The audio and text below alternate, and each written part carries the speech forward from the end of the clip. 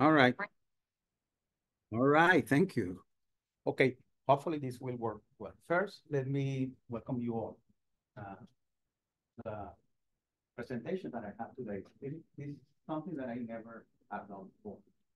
But I thought it would be interesting for some of you to know about Latin American culture in general, and then, you know, I will also present some books that I think could be part of the core collection of your life. Maybe you already have them, so it's not something new for you, but maybe it will be something new for you. And what I'm thinking is uh, that uh, maybe I will develop a uh, like a special topic uh, course for the winter session on Latin America. There's so much uh, to learn. Okay, so let's, uh, before we enter into literature, let's go to history. So we know where we are. So this is uh, uh, Spain, important Spain. And this is a Iberic Peninsula. Okay. Here we have Portugal. And here we have several kingdoms that are now nowadays uh, Spain. The peninsula, when we see the Iberic Peninsula, had little kingdoms. Even Portugal was a kingdom. And they have different languages. Okay. Most of them are, of course, uh, derived from uh, Latin. So they are Romance except this, uh, that's why it has a different color. This place here in the, in the Cantabric, in the north of Spain, which has a totally different language that nobody knows where it came from, is the last language. So Jacob asked me for my last name. And my, for my father's side, I'm Basque. And my last name is Aristeguieta. That has nothing to do with Spanish or any other uh, Romance language. It means the, the oak tree on the hill. Imagine that, the oak tree. That's what my family name means. So there we, we speak something called Euskara, which is not Spanish and has nothing. Now, of course, we have uh, incorporated many Spanish words. It's funny because so last year I went to Spain, and went there and went to Barcelona. And In Barcelona, they want to speak uh, they don't speak Spanish. If you go to the country, they have to speak Basque. So even for us uh, Spanish-speaking people, we have some issue. Okay. Now, what we call Spanish today is actually what Castilian. It wasn't called Spanish because Spanish in Spain was one of the Romance language in the center of Spain. Okay? And uh, that became dominant and Spanish, uh, uh, Castilian became the dominant language of that the, peninsula. And when they consolidated after 14, around the discovery time in 1492, then uh, Spanish became the main Portugal kept theirs. It's the Portuguese. But if you go, like I was saying, if you go to any of the provinces, if you go to Catalonia, which is here, or to the Basque country, or here to the Catalan uh, area, they will speak their own language. That's what they learn in school. During the, there was a civil war in Spain in 1930, from 1936 uh, 1939. And Franco, who was a dictator, took power, and he was there for many years, since 1939 till the early 70s when he died. And of course, like any other dictator, what's the first thing they do? They don't like that. So they, they abolish all uh, the native languages. Make everybody have to learn Spanish, and that's it. But after Franco uh, died and democracy came to Spain for the first time, I think. Uh, though during the Civil War, there was some, uh, in, especially in Catalonia, in the in Barcelona, in that area, uh, they they were they had a democracy for a while. Well, you know, every uh, province or every state or every region was able to go back to their culture and language. So we have to take into consideration that because we Latin American people come from that now, in terms of who were these people right there?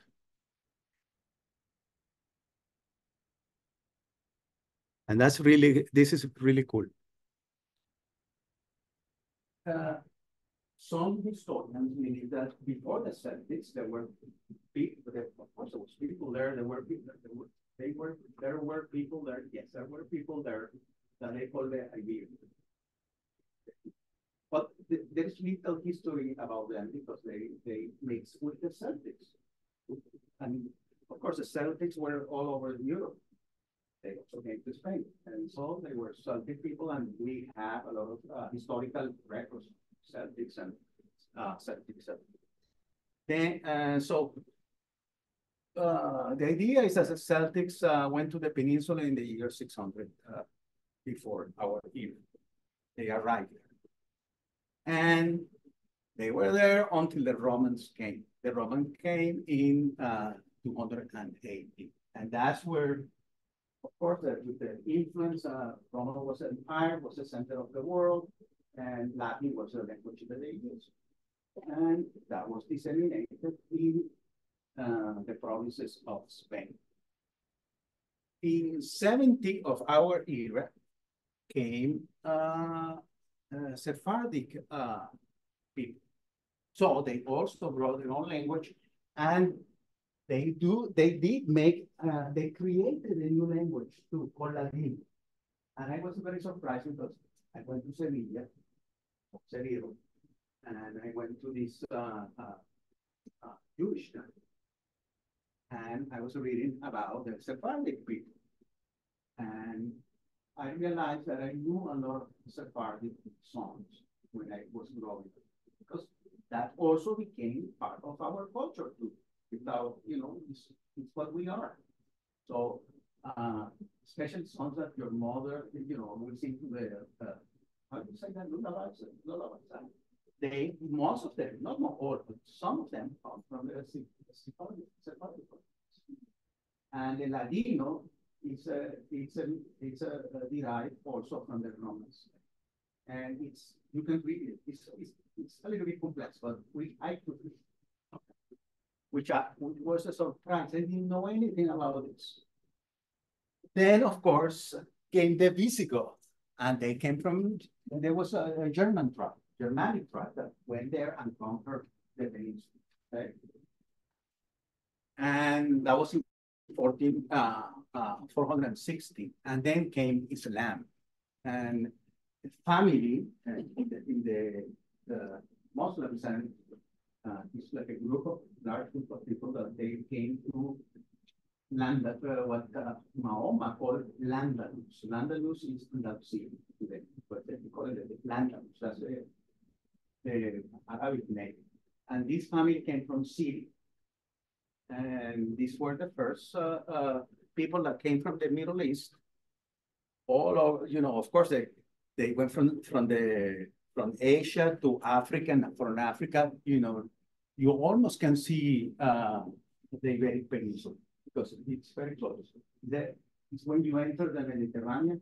That's, so they came there and they stay there till today because we also have, all of us who are uh, from Spanish descent, have a lot of uh, Arabic culture. We didn't know that, but we do. So a lot of words that we use are uh, from Arab origins. In 1492, the, the, by the way, the Islam was there. Mahoma, I think, I'm not very sure about this, but I think he was uh, uh, his time was like in the, uh, in the fifth century and or sixth century, like 500 or 600. And Mahoma, uh, oh, is that how you call it in English, Mahoma? Muhammad. Muhammad. Huh? Oh, Muhammad. Yeah, I'm, I'm, I'm talking about the prophet. You're talking about Native American. No, no, no, I'm talking about the prophet. How do you call the prophet? Muhammad. Muhammad. Okay. I call it Mahoma. You see, because I, I know a little bit of art. So, but Mohammed have been a very intelligent guy because in few in, in a few years he was able to disseminate this, this new religion, which was totally new. He got a lot of information from uh, uh, Hebrew, or from Jewish religion and from Christianity, because that was uh, like five, six centuries after Christ. But he created, uh, the new religion. And he, it's amazing because the, the Islam empire was huge. We can now see, well, you know, but it was uh, half of the world was. And in just a few years, and there were other religions there.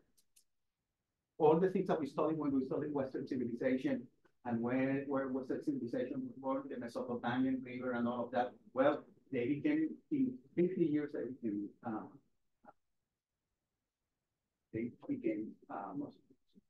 So that's, that's amazing. So I'm, I don't know, that calls my attention so much that now I'm studying uh, Islam. Really? I said, I'll have to know more about this. And when I went to Sevilla, of course, uh, when you go to Andalusia, you will see really the influence of uh, uh, Arabic and Islam culture. And it's beautiful. You go to Alhambra, uh, you go to Sevilla, to the Casa of Sevilla. Those places are amazing if you want to learn a little bit about that uh, Islamic culture. Even people from foreign people from the Middle East, they go there to see that because uh, it's it's one. So, so but that's where we are. We are now. So, I'm I am Iberian, Celtic, Roman, Sephardic, Visigoth, Islam, and Basque. Not me. Every every Latino. Then came the discovery. And the Christopher Columbus came to America. And we became Americans. So all these myths from centuries and centuries ago ended up here in Latin America. Well, I would say from North America to the south, because the Spanish came to North America to the south. Well, uh, so they, they, the Spaniards that came already had the, all of these components here, and they added uh, Native American. So in my culture and any culture or any place in Latin America, we the food that we eat, of course, is Spanish food, uh, Native American. Everything is, is, is our national. Uh, we don't have it exchanged okay, this is Native American, this is, uh, so, no, because we are like mestizos, we are mixed race. Then came the African influence with the Africans that, that were brought to, to America. That's why we have such a good music in Latin America, because they brought the rhythm, right? Salsa, jazz, all the music that is, uh, the origins are in Africa. And so we are Africans too. We have African uh, uh, uh, even African blood. And finally, uh, and I, I, I, I couldn't place any exact date. There, you know, there is people from all over the world. Uh, I don't know if you, any if you remember, because it happened many years ago. The president of Peru was a Japanese, Fujimori. You remember that today. So why because there's a large community of Japanese uh, uh, in, in, in, Peru. And that's why Peru uh, food is so good. You've never been in a Peruvian restaurant? Uh, well, we don't find one here in, in Peru, but please do. It has nothing to do with Mexican food, which is very good too. And because we eat different things, uh, depending on, you know, who came. And then, of course, Portuguese, Italians, uh, uh, Asians.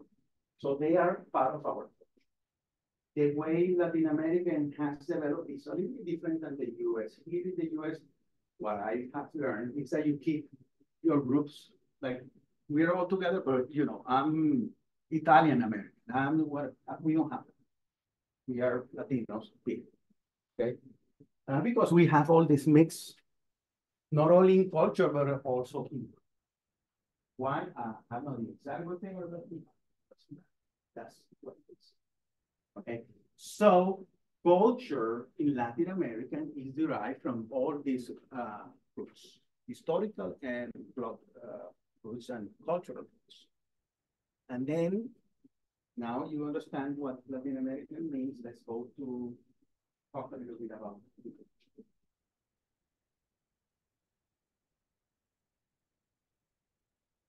Are there any questions? No? Okay. Oh, sorry. I used to use two computers at the same time. Oh, okay. In Latin America, uh, of course, there's always been literature, but it was following the same uh, literature movements that you had, like modernism, classic, romanticism. You know, that was what people wrote in the 19th century, 18th century, 17th century, 16th century. But in the 20th century came what is called magic realism. And magic realism is something really special. I think I don't think it's very taught Latin America. I'm sure that happens everywhere. But it became like a movement. And why was that? Uh, why were the writers were able to create that new style is because of what I explained. Because we were uh, Muslims, Jewish, uh, Africans, uh, uh, natives, Spaniards. So for us, that's, you know, nothing new. So what they did is they wrote the stories that they that they heard when they were little kids. My dad uh, always tells me, you know, if I could try, it would be like uh, Garcia Marquez, right? Because that's uh, that's how I grew up. We didn't see a distinction between what was real and what was magical. Because that's the story that you get that from your family. There's a book that I'm going to uh, talk about a little bit uh, later that is the uh, by called the uh, the war of the end of the world by uh, by this Peruvian guy. Uh, no, no, it will be there. Don't worry. But the amazing thing is that there is the, the book. I, I read that book and I'm going to tell the whole story. So the book is about like uh, uh, indigenous people and uh, the struggle and all of that. The interesting thing is there is a prophet there, prophet who was going from town to town saying that he was the end of the world. But my grandmother, very, uh, she already uh, passed away many years ago, but uh, she would tell me the story about a prophet that went through uh, her. In she was born in 1900, so it would have like 19, I think it was 1980. And there was a lot of smoke for, for months because all part of the savannah had uh, burned for the Grand Savannah. And it's a beautiful place to visit because you see that the Tepuis, the, the Tepuis are like mountain formations that are, uh, have a top. And they are, you know, well, really huge. And all those mountains uh, are like maybe 2,000 uh, meters, which would be times three would be like six, 7,000 uh, uh So there was a big uh, uh, fire. it wasn't a forest fire, it was a savanna fire. But they didn't know because they were like maybe 200 miles away from that place in 1920. And so they had smoke like for weeks. And during that time, this prophet, the prophet called Enoch, like in the Bible, came to that town telling everybody that it was the end. And people believe. And unfortunately, some people even convinced but they to. Well, in um, Vargas Llosa, that's his name, Mario Vargas Llosa, this won the Nobel Prize. In, in his novel, The War of, uh, of the End of the World, he talks about a problem, you know. So it's it's it's okay. There is magic By the way, and that's a story with Vargas Llosa. I went to Peru in 1986. I was part of the delegation. It had to do with information. So I went to Peru. Peru is a beautiful country. And we were in this restaurant, which I think is, at the time, it's one of the best restaurants in Peru. Peru uh, cuisine is mostly come from the sea. The African sea. And we were there, and I was reading that book, 1986, 87. And all of a sudden, in the next table, I see Vargas. And of course, for me, was all my Vargas. I didn't want to interrupt him because when you're famous, you don't want to be interrupted when you're having a lunch or dinner with um, friends.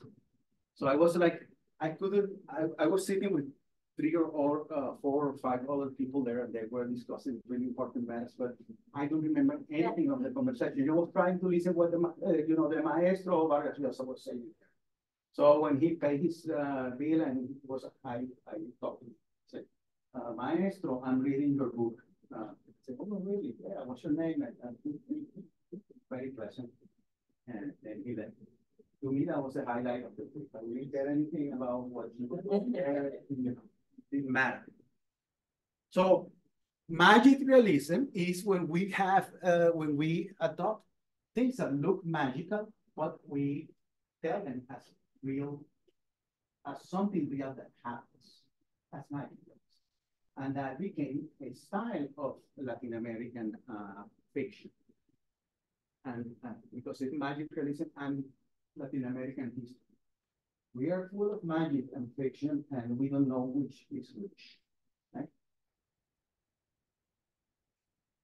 So uh, the, the we have uh, Carpentier, who was uh, from Cuba, is one of the first one. Of course, Garcia Marquez, that everybody knows. Uh, uh, Jorge Amado from Brazil, Borges, which is the to me is the most important writer.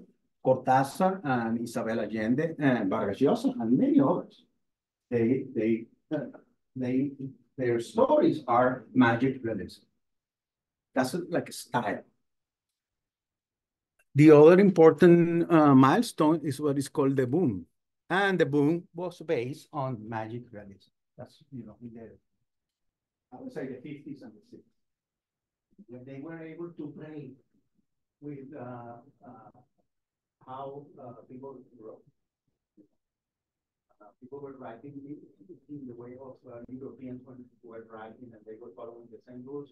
But these people said, well, you know, we live in this continent and this is different and, and our culture is different. And we have so many uh, origins that let's write the way we see the world. And that was called the boom. So Latin American literature became very uh, read around the world. Before that, it wasn't that much because there was nothing to see there. It was like the same classic uh, realistic and modernistic uh, uh, literature that you could see. Here in the US, you have something similar when uh, Faulkner and uh, Hemingway and all of those big guys came in and changed uh, literature. But before that, it was more like, okay, the same stories that uh, everybody writes.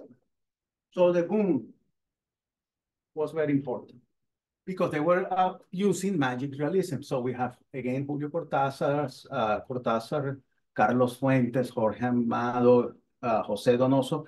And then this is something that happens everywhere in Latin America. I don't know if they, maybe the, writers uh, got together in conferences and talk about this or not. I have no idea about that, but that's something that we have to investigate. But they came up with this and then became very popular as writers that they would not as, uh, so so that's why we know uh, nowadays we know Garcia Marquez, who's the main uh, writer on on magic realism. Some of the uh, sources that I recommend for uh, your book list are these. You know, they I I went through it and I found very good books Latin American uh, these books that I'm going to present are a translation in English. Because I think most of our, our patrons are English speaking patrons. There are, of course, uh, editions in Spanish, the original editions are in Spanish, but I think uh, uh, we can disseminate more if they are uh, offered in English. Yes. So now you, I know, I know, let me sit down. That's my old nemesis. Oh. it's, it's interesting because I, I choked my way through Babel, the book Babel. Um, and, but it's interesting because it was talking about languages and how they had to translate them and the amount that you lose when you translate it from one language to the other.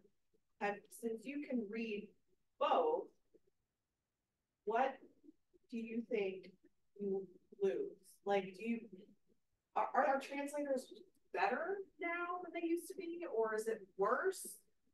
Like, you know, like sometimes you can get a concept, but then you can't get a concept.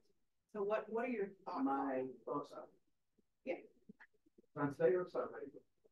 And of course, there are some versions that are better, better.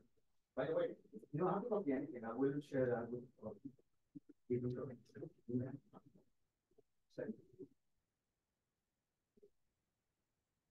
My feelings and you, yes, use a lot of, especially I, I don't even know how to explain it, like that, uh, hidden meaning that, uh, you know, because when you translate, it's hard to get that meaning because it's based on culture.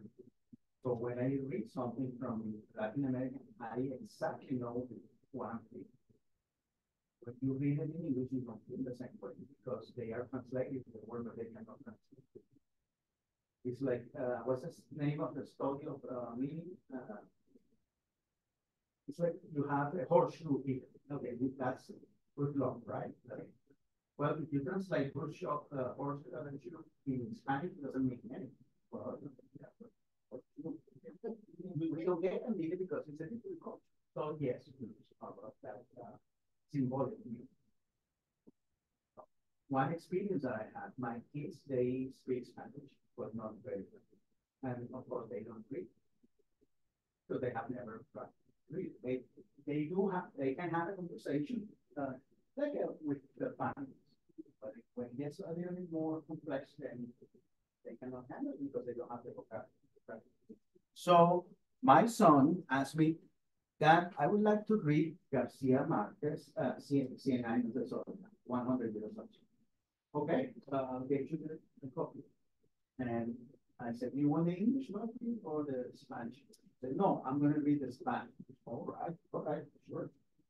So I buy him the Spanish version. After like three pages, he told me, I can, you nothing of what I'm reading. I'm sorry. Okay. then I had to get him the English uh, version. And he was able to read both with the, the two versions, but he was asked, that was okay, one year. That was uh, maybe when he was here with people at the university ask me, what do they mean by that? What, what happened here? So I have to explain like magic realism. Well, that's not something uh, that is happening. This is, this is, this is magic.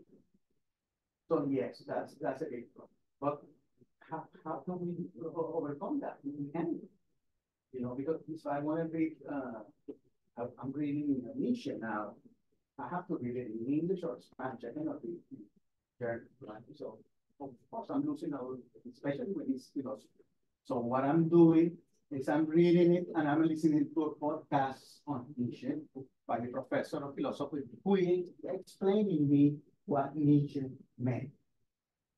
That leads me to my all right, I knew it. I knew it. me to my second question. So, like, so you can ask any. Okay, so and everybody's welcome to we're we're very small and rural. We don't have a lot of diversity, but I try to do something. So would you so we have a copy of Don Quixote that's English and Spanish. Would you think it would be better just to have just a copy and just only that or a copy that has both that they can kind of go back and forth? Well, just in your opinion. I mean, it doesn't. Okay, this is my. You know I mean? If we want to introduce our data to this, because if, if we, oh, you know, overburden them with, okay, you this is translation, oh, I'm not get I wouldn't do that for everything, but I just meant like, yeah, that would you be know, a good idea. To have a copy of uh, the, the original language and English too. I, I would love to that because I can read both languages. But for somebody who can, you know, and of course there are things that aren't universal that have universal. So even if you don't get the small details or the small uh, atmosphere or the small feeling, you still get the story. That's why, for example, uh, uh, Isabel Allende, they have made, you know, he's very popular here in the US and they have made many movies uh, uh, from the right?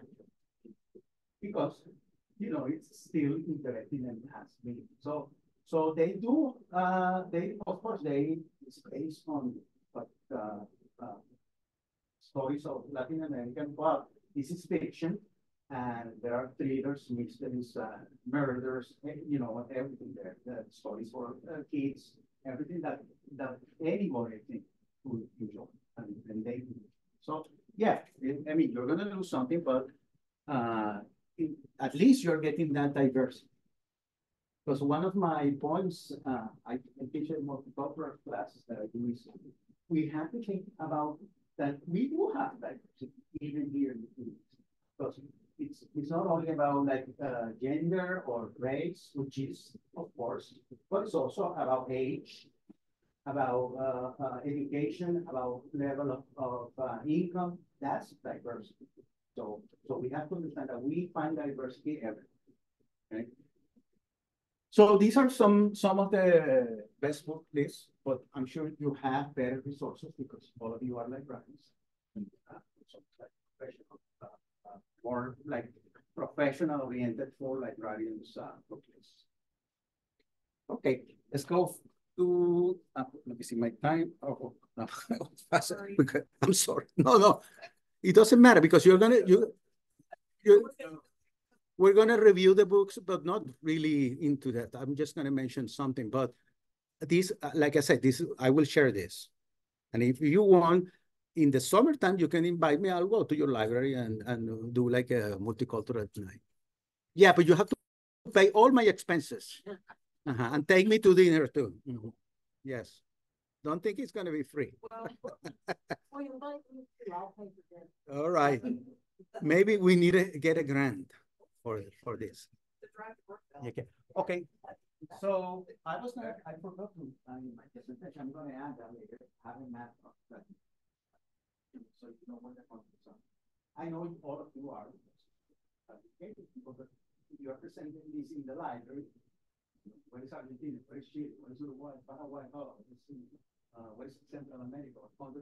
You know, you may be confused because there are so many little countries that, that it was confusing uh, uh, there was an idea that didn't happen because of our uh, the way we are. It happened in the US, you were able to have the United States. Well, they did, they have the same ideas a little later in the early uh, 1800s of having one country from Mexico to Argentina. That was never going to happen, of course, because even even though we have the same goods, there is a lot of diversity. So, uh, so it was going to be called Colombia, like like like Colombia today, because that was in honor of Christopher Columbus. So we have one big free. That didn't happen. Then Simon Bolivar said, "Well, let's then smaller here with the Ecuador." Uh, Venezuela and, and what is, was called La Nueva Granada, which is Colombia today. And they called that La Gran Colombia. But that it, it lasted like three years and there was a civil war. That's, that was the last uh, attempt to do that. Uh, was that a good thing or a bad thing? I, I don't know. But uh, I think we have a lot of diversity. One thing that happened to me um, is like me and my daughter were invited to have dinner at this professor's house here, a friend of mine. And, and, and we get there, he said, well, I cook your food for you. So I said, wow, that's great. Thank you so much. When I see the table, it's all different types of beans. Well, we don't eat beans in Venezuela like maybe they do in Guatemala, Mexico, wherever. So course, I said, oh, thank you so much. And I, and I, I knew she was doing it from a good heart, right? But it's hard to understand the diversity. We are not the same, just like in the US. It's not the same somebody from the Midwest and from California or from here, from Pennsylvania. Well, the same thing happened there. I said, yeah, I can eat some, some beans, but I, I've seen some beans here that I've never seen in my life. This is a diversity of beans. so, yeah, yeah, we have we have different music, we have different musical instruments, we speak Spanish differently. Every country says that, no, our Spanish is the best. Yeah. According to this, well, you go to Spain and they, they speak horrible in Spain. I can tell you that we speak better Spanish than they do. You go to Andalusia and you don't understand anything. They, think they're speaking Spanish, but they're So, yeah, we do speak better than them, and they say, and this is not confident, but I, I have read that in Bolivia, is where they speak the real Castilian. They're more Castilian. Uh, remember I said that uh, what we speak was Castilian. Well, they say that that's the closest to in Bolivia. I don't know if that's true or not, never been there, but that's what I have. Uh, okay, so, oh, by the way, I have like different countries I could, these are books that I have read uh, in my last 63 years, okay? Some I remember, some I. I'm to reread them now, and you know what I'm to do? I'm to read them in English, okay? Because I I was reading, okay, I was I selected my books, and then I went to read about it. I don't remember anything. oh, because I read this when I was 12 years old. So, uh, you know, I'm going to read them uh, because these were really good books. Really good.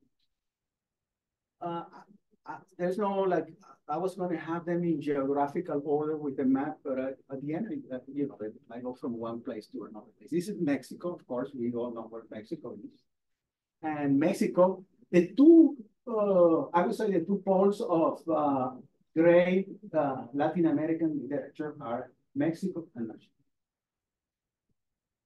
Uh, of course, you got in Peru, you got Vargas Llosa. In Colombia, you got uh, uh, Garcia Marquez. Yeah, but in general, I would say that's the two, because they were the two richest countries. Argentina was very rich. In, in, that's why Borges, which I'll mention later, said that Argentina, they, are, they have a lot of immigrants from Italy in Argentina. It's almost Italian. If You see the soccer team, Argentina soccer team, beginning with uh, Maradona or Messi, you know, those are Italian uh, sons of Italian people. So Borges, who was a great Argentinian writer, and I think he's uh, the best writer, uh, he said that Argentina is a collection of Italians who don't know how to speak Italian. it's, all Italian, they don't know how to speak that.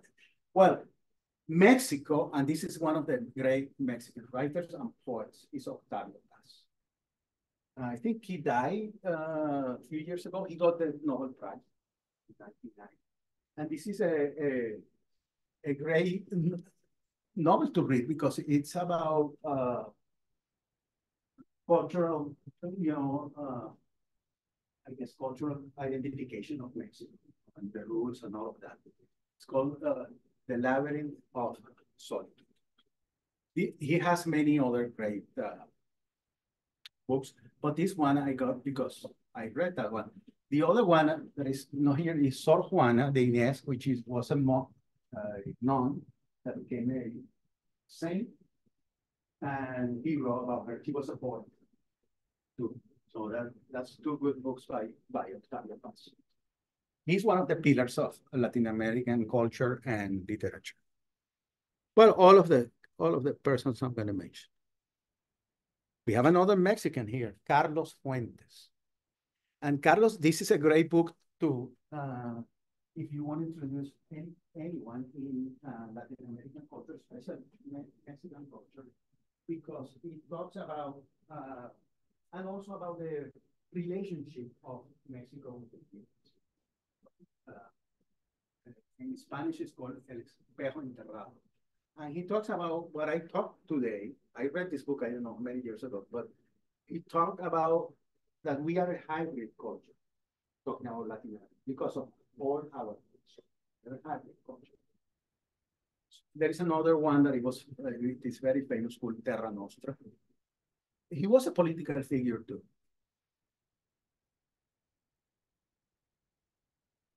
By the way, Mexicans are very nationalistic with their, they love their country, really. that, that's a good thing. Then uh, from Argentina, we have Julio Cortázar. He, he's one of the major figures of, uh, of uh, writing. And this is more like a, like a thriller. It's, uh, it's called Rayuela in Spanish and it takes place in Paris. So it, it, it, doesn't have to be about indigenous people or not. It's about modern life. Okay, and I, this is a story about this guy, Horacio Oliveira, who lived in Paris and has a history. So, so this is a great story. It doesn't, this, what I wanted to show today is that it doesn't have to be about like traditions and about, you know, this uh, guy or Inca with this uh, Lama. No, it's, uh, you know, they're modern history. They're the same genres that we can find in any language, okay? This is a great book uh, called Rayuela, and, and, all the kids in Latin America have to read this book when they are in like, I don't know, 11th grade or something. Okay, here's my favorite from Argentina too, Jorge Luis Borges. And he's got this story, which I have, I sometimes make a copy uh, for, for my students called The Library of Babel. And the Library of Babel is like, is like when he wrote that in 1941, well, it's like the, but it's a magical space where you go every, and there are an infinite number of rooms that in that uh, uh, library. And you go here, you go there, and you find this book, and then the book disappears. That's a, for a librarian, that's a great uh, story. It's a short story. So I recommend this uh, uh, uh, fiction stories. He, he wrote many, many things, but this is great. This is, a, and that, especially that one, the Library of Babel. So I do copies. I know that I'm, and maybe I'm infringing copyright violation, but I share that with my students. You know, maybe not a whole story, but like something. It's a reconstruction.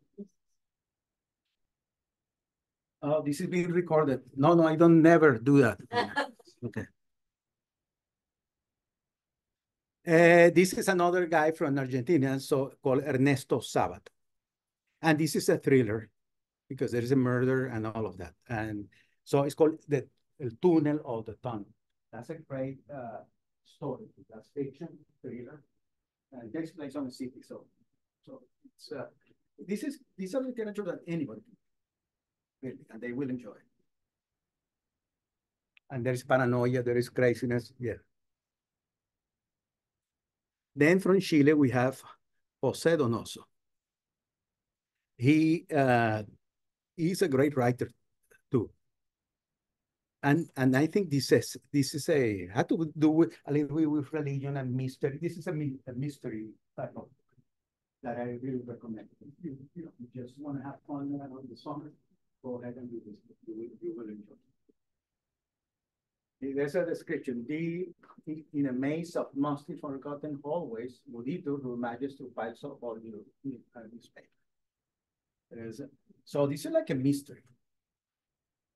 I uh, the question about translation. I don't know. I'm gonna read them in English now. See if I if I can get what I got when I was growing. I'm old and I can't read the title. Well, it says the obscene. Yes. Uh, uh, right, right here. The obscene bird of the night. Okay. We will share this. From Chile, of course, Isabel Allende. And uh, maybe, has anybody watched, uh, seen a movie uh, that, that was, uh, or no, based on one of her movies? No? She's very famous in Hollywood has made a couple of movies. Uh, this is one of their major uh, books uh, the House of the Spirits. The one that I like that she wrote was about her daughter. I think it's called Paula, but I'm not sure now. That her daughter died. So she wrote some, she wrote a book about her, but it's, uh, it's a wonderful book. But this is, this is, I think this is, you know, the, the bestseller. And they say here that they made a movie in, in 1994. I think I saw that movie, but I don't remember. It's about a family.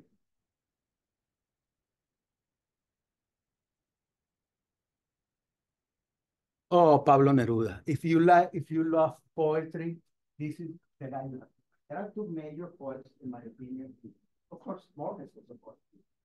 Uh, but in Latin America, it's Pablo Neruda. Uh, and especially this book, 20 poems, it's a it's love poems. And the first one is poem number one. And it talks about how sad he is. And he says puedo escribir los versos más tristes esta noche. Escribir, por ejemplo, la noche está estrellada y tiritan azules los astros. So he's talking about his beloved and, you know, he had to return and all that. He said, oh, I used to, I, love uh, poetry, so I used to recite a lot of uh. And I always uh, recite uh, Pablo Neruda. He's a Chilean guy. Uh, he died, uh, I think he died after the, uh, he was a communist and he supported the Allende government. He, he didn't die in a violent manner, just like that. I think he got the Nobel Prize in the 90s. Uh, I, am not very sure. I don't know if it says there. Uh, but this is this is this is a book that I keep with me. It's my one of my companies. The other great poet, of course, is the uh, the poet from Seville. What's it, what's his name? Uh, they made movies about him, and he has this great poem called uh, La. Uh, y que yo me la llevé al río creyendo que era mozuela, pero tenido. Fue la noche de Santiago y entre compromisos. This is a great poet, and he, he died violently when the Civil War, the Spanish Civil War. Uh, don't remember his name, I'll, I'll remember now. But we're not talking about Spanish literature, we're talking about Latin America.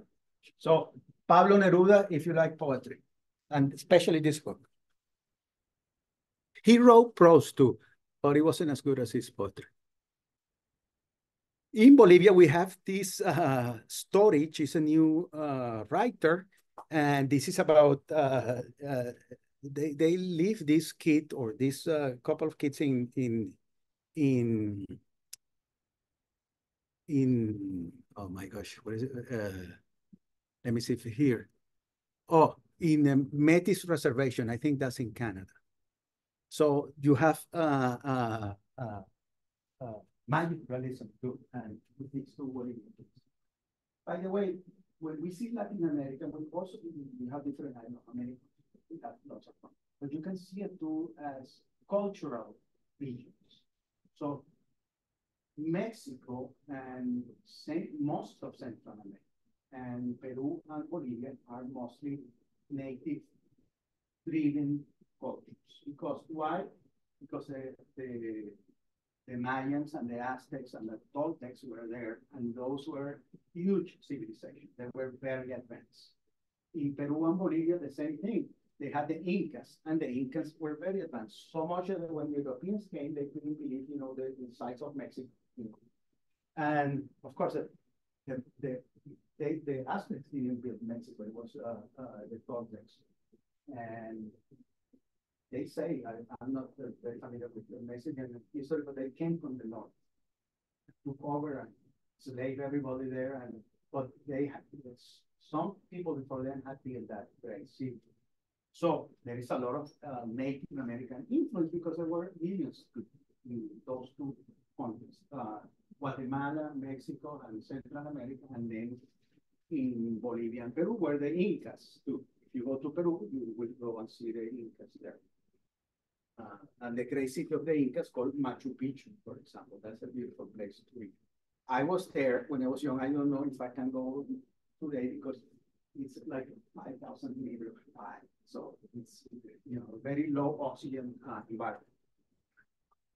Uh, the other place is what I call the Caribbean. I'm from the Caribbean. I'm a Caribbean.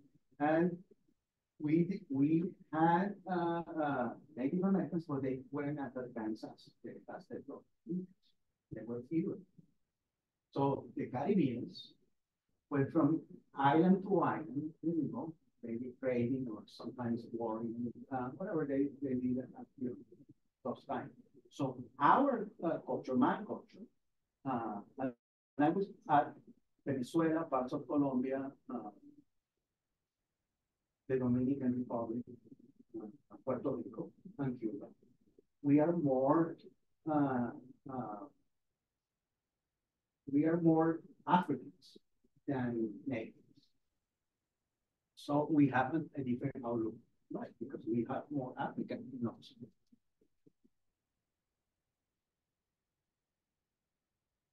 I'm gonna finish. Don't worry. Everybody wants to go to lunch. Okay, I'm gonna go faster. I'm not gonna talk anymore.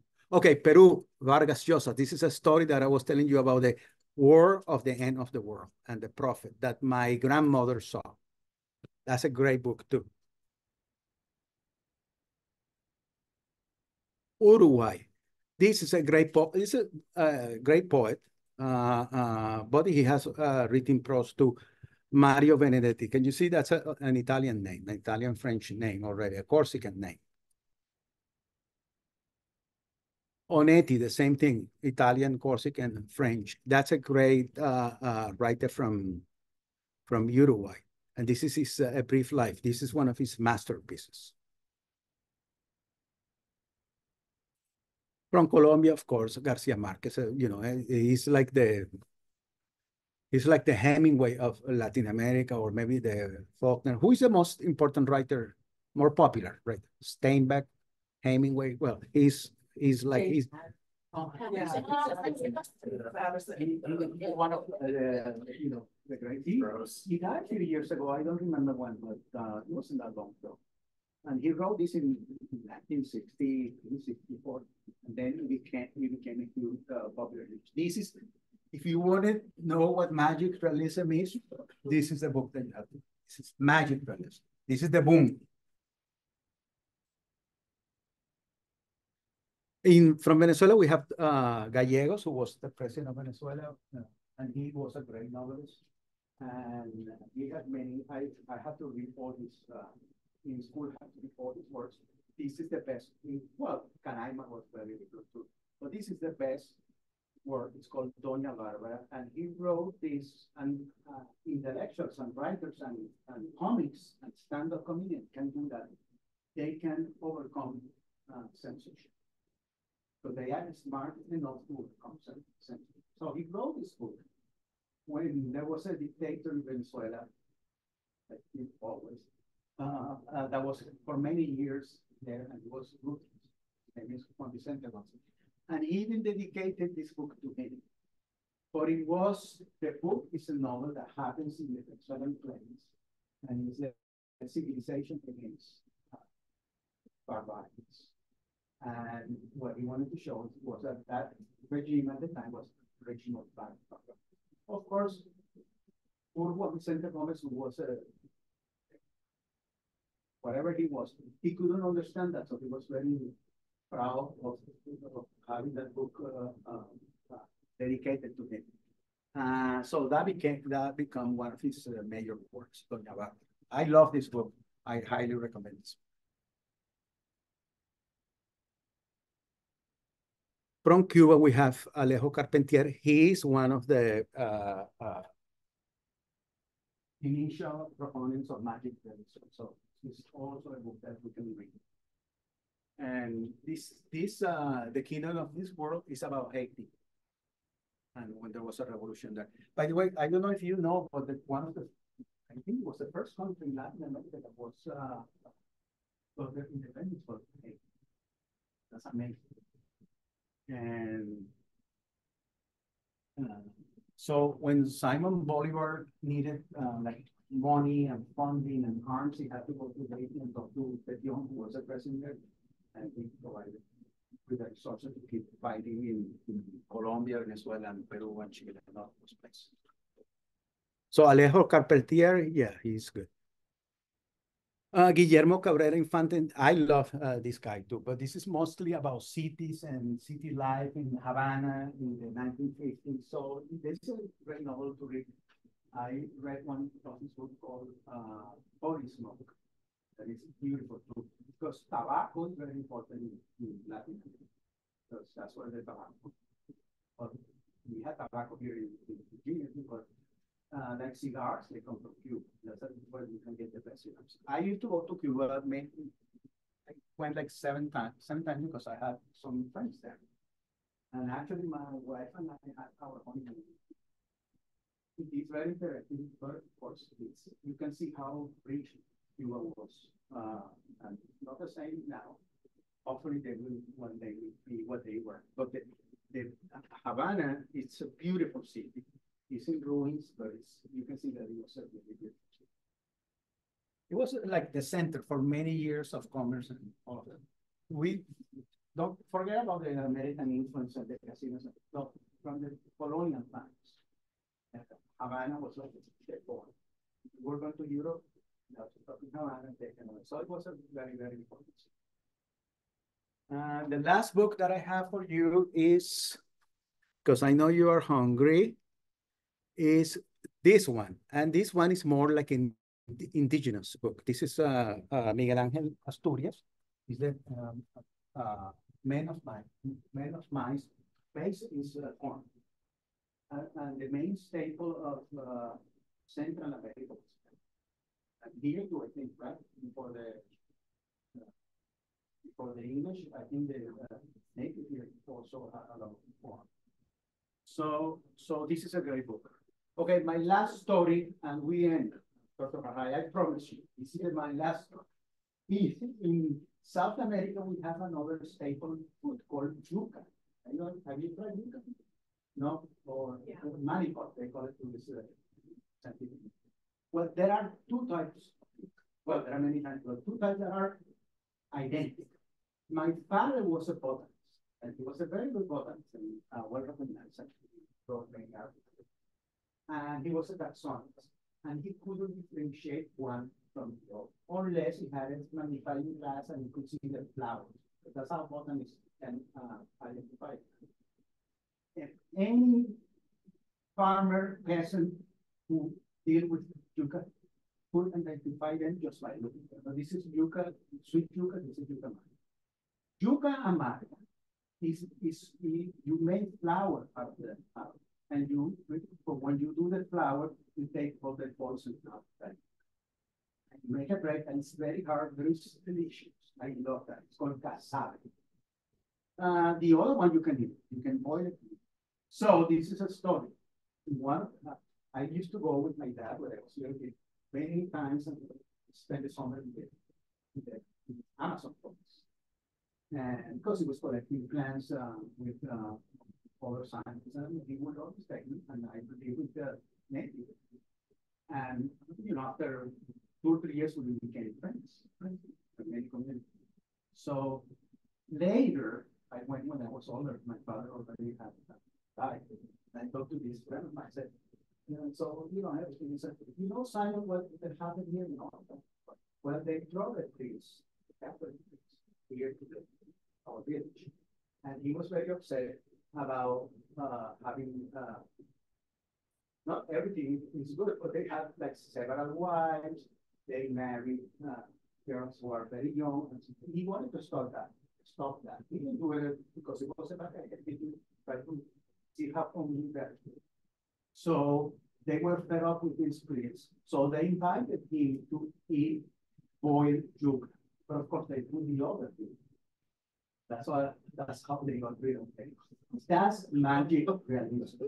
That's a story that you don't believe, well, I had to believe it thought was. so- We couldn't stand that this prison anymore, so we don't. And of course, nobody, well, you know, we, we- the police, when they see what happened in the prison. Well, we got confused. Okay, fine. So, so that's magic. And with this story, I am my. Are there any questions? I know, we're turning down that dinner invitation. Oh, oh. I'm gonna invite you to my home, have some yuca. Uh, okay, thank you so much. I hope you enjoy. So we're heading over and like you said, the students heading over, they'll know where it is, so the people.